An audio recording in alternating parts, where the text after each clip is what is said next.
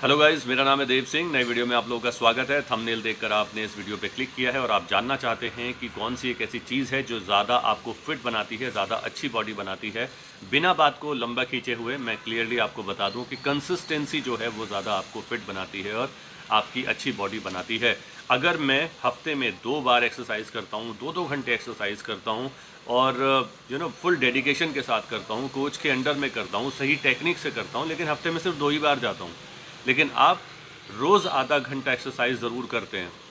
कोई भी बहाना नहीं लगाते हैं। आज मुझे कहीं पे जाना है, दोस्त से मिलना है, किसी की बर्थडे पार्टी है, किसी की शादी है।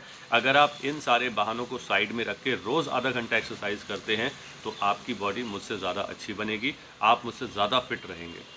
कहने का मतलब ये है कि आप, बहुत सारे लोग बोलते हैं कि यार डेडिकेशन होना चाहिए मोटिवेशन होना चाहिए कोच अच्छा होना चाहिए ट्रेनिंग अच्छी होनी चाहिए डाइट नींद अच्छी होनी चाहिए, ये सब चीज़ें तो ज़रूरी हैं ही।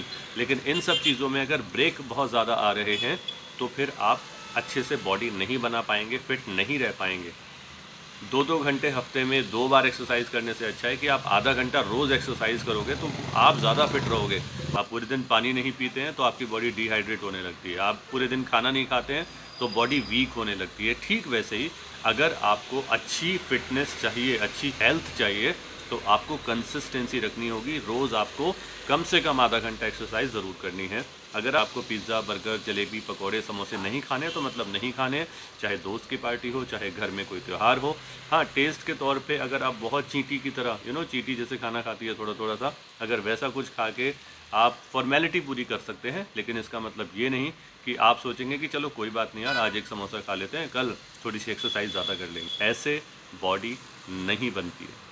आई होप यू अंडरस्टैंड अपना ध्यान रखिए, खुश रहिए। अगर वीडियो पसंद आती है तो प्लीज़ चैनल को सब्सक्राइब करिए। कोई फालतू बकवास नहीं डायरेक्टली बात करता हूँ, चाहे वो सप्लीमेंट को लेकर हो एक्सरसाइज को लेकर हो कोच को लेकर हो जिम को लेकर हो हेल्थ को लेकर हो, या फिर ब्यूटी प्रोडक्ट्स को लेकर हो, या किसी भी तरह के हेल्थ प्रोडक्ट को लेकर हो, यहाँ पर फुल्ली इन्फॉर्मेशन बेस्ड वीडियो आपको मिलेगी।